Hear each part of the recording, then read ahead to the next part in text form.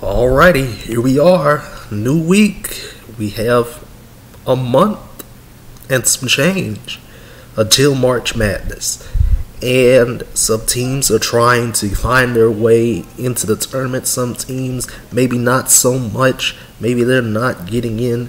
Maybe they're getting in the NIT. Maybe their seasons are coming to an end. You know, once, you know, the regular season and the conference tournaments are over but who knows? We we still have a long way to get there.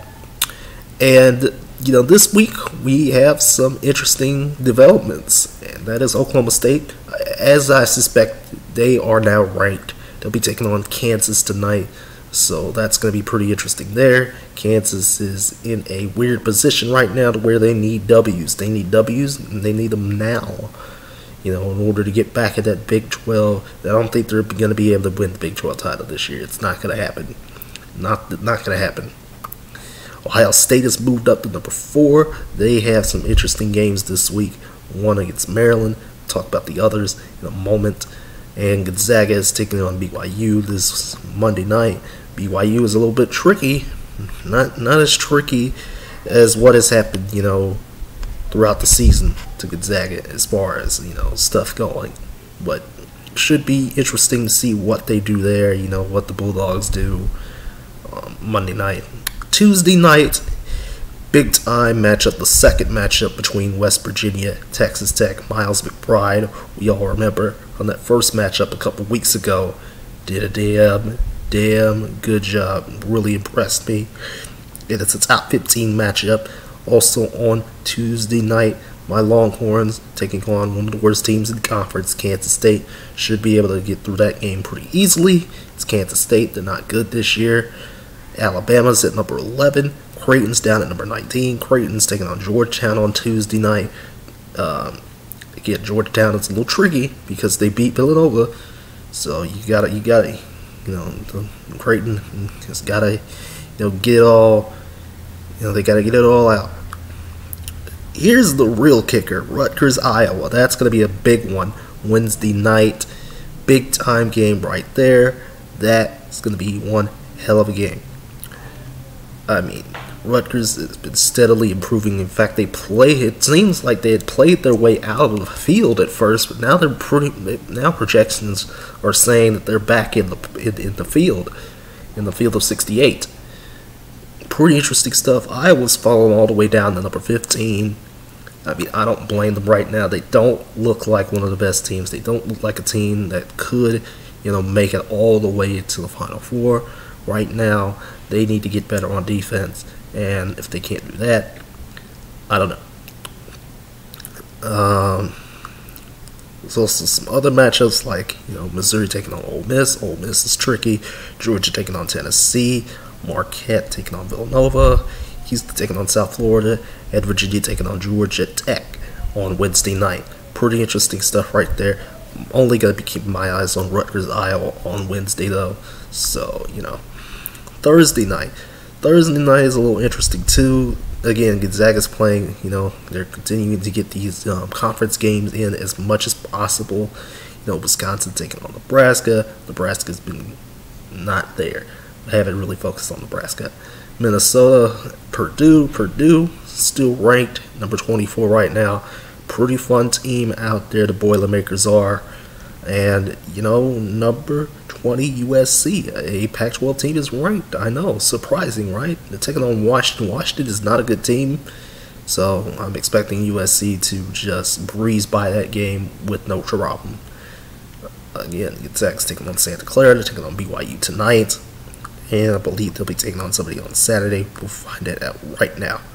Uh, there's one game that technically uh, that says t- to be determined on here, and that's Northwestern taking on Rutgers. I don't know what I don't know what's gonna happen for Saturday for this game, and you never know. There are games getting canceled left and right, so you never know what's gonna happen. Michigan isn't even playing this week, you know. You don't see Baylor on here at all. There's no Baylor playing this week you know, because they've pushed them games back. But here's the real problem here: why is there a top 15 matchup on ESPN Plus? I'm talking about Oklahoma, West Virginia. Both these teams, very good teams, very fun teams to watch. And instead, you know, putting this game on linear TV, you know, you know, you know, maybe you know, actual TVs or something like that, maybe the Big 12 network, you know, not not not not a streaming service. I'm gonna, uh, uh, mm, not a streaming service that I have to pay for. I'm talking about an actual television network, you know. Hey, maybe you could change that Longhorn Network, you know, because there's a game on Longhorn Network this week, and that's TCU Texas. Yeah, yeah, I'm mad. Of course I'm mad. I'm, I'm gonna be mad. I'm, I'm always mad about the fact that there's no Big 12 network, you know, cutting a deal with ESPN as the devil intended. You know, we, we, we, we need a Big 12 network. This is inexcusable. A top 15 matchup on ESPN Plus. Inexcusable. Hopefully they change that. Hopefully they change that game because that is inexcusable. Um, there's some other interesting things going on on Saturday. Michigan State fighting, you know, one of those teams that are fighting for their tournament lives, and they'll be taking on Iowa, you know, on Saturday. Again, you know, Iowa's been inconsistent. Michigan has been even more inconsistent. But, you know, things are looking up. Things are looking up for teams that are trying to go to the tournament. Indiana's also tricky, so Ohio State has to, you know, that'll be the early, that'll be a very early game at 11 a.m noon Eastern game for Ohio State. Trayce Jackson, you know, and company out there in Indiana. You know, they've been doing a pretty damn good job trying to get themselves to the tournament. They play real tough basketball, you know, out there. And Ohio State has to keep their they have to keep themselves honest. Meanwhile, the ACC is a um, it is weird. It is weird right now. I'll tell you that much. Uh, you got Virginia Tech hanging around in the rankings, Virginia hanging around at number nine, teetering in the rankings and stuff like that. But then you got a big time Big East matchup four Central, five Eastern, Villanova, Creighton, two teams that I've been watching, you know, for the past two months. Watching them play has just been a blast. Um, and you know Villanova's been doing pretty good. You know they did lose the game last week, so did Creighton. You know, both these teams, you know, trying to keep themselves in pace in the Big East. And again, another team fighting for their play for their um, tournament lives. That is North Carolina. They'll be taking on Virginia on Saturday. Now, I am looking forward to this game right here against Virginia. It is one of the more interesting games on the docket. I'll tell you that much right now you know, North Carolina's fighting for playoff lives. You know, I mean, not for their playoff lives. I meant for their tournament lives. And Virginia, they are they really haven't done anything. like they're at number nine because they are because the right now. And also on Saturday, again, Gonzaga is taking on San Francisco. So, so that's three games for Gonzaga this week. Meanwhile, for USC on Saturday as well, they'll be taking on Washington State, so that should be interesting. But here's uh, here's something else that's interesting, very fun right there. Loyola Chicago taking on the formerly undefeated, formerly ranked at 25 Drake. Two days in a row on Saturday and Sunday at 5 p.m. 6 Eastern. And there's also Houston know, taking on Memphis on Saturday as well, or rather on Sunday. That would be a Sunday game. But this real kicker right here is Michigan, Wisconsin. Michigan, you know, they've had games canceled left and right, like I said earlier in the video.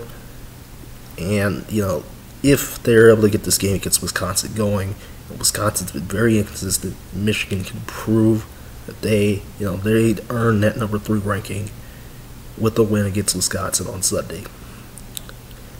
And, you know, Michigan's a very talented team. Very talented. Seen these guys play at least once or twice this year. Very talented team. Very fun team to watch. Wisconsin's very inconsistent. Very hard to watch at times. You know, last, you know, what, Saturday, you know, they looked awful from three point range. And they got to get it together. They got to get it together. They're lucky they're still ranked in the top 25 right now. And there's other teams fighting for their tournament lives as well, you know, like North Carolina that need to get W's fast. So, you know, we sit, we wait, we wonder, and I am having a blast with this season, despite the fact that COVID is ravaging it. But I'll see you in the next video, everybody. Take care.